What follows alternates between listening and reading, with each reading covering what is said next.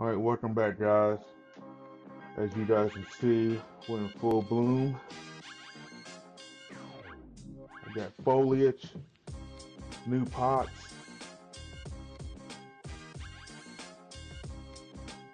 All that greenery is ready to go into the ground. Trying to get my pots together to go in addition to my planters. These are my sweet potatoes and tomatoes, yes. Won't be long. Just waiting on the temperatures to stay above freezing.